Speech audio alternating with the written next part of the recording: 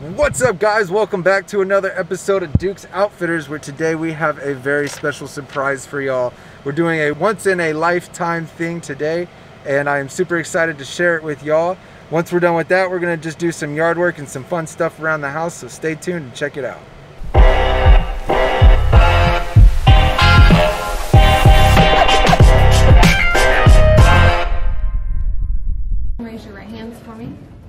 Do you both solemnly swear or affirm that the information given on this application is all correct?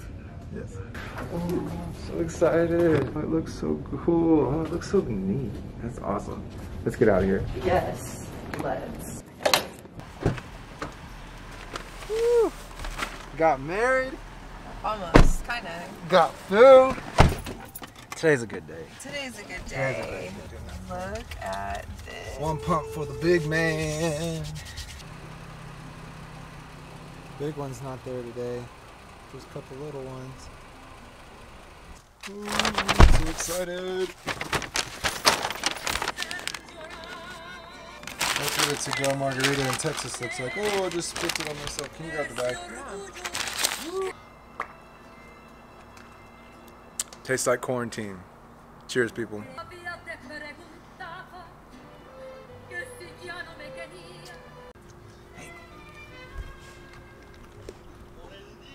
These are my old gardens. I've already got some uh, mint plants growing here and some like lemon mint.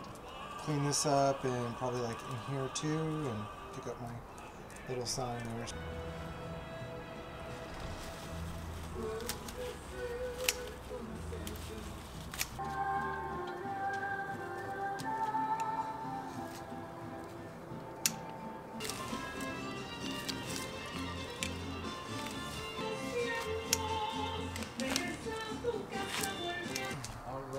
How much better that looks. So I decided to just plant some flowers today. I did, let's see, three, six, seven, eight, nine, ten, eleven sunflowers.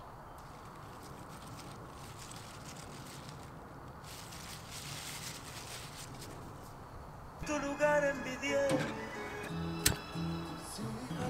feliz, córtale la raíz.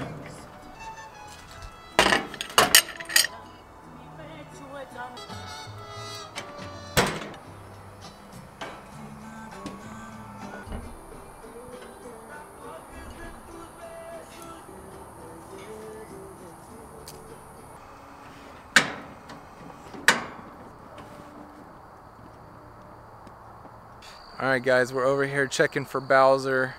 I promise I didn't forget to uh, catch him and put him on this video. We just, we've been looking for the past two days and I haven't seen him. I know that those kids were messing with him, so hopefully they didn't scare him off. But uh, thanks so much for watching today, guys. I'm going to be posting more videos about the Corona Diaries, and thanks for joining us on our special day, getting our marriage license. Yay! Oh, bye.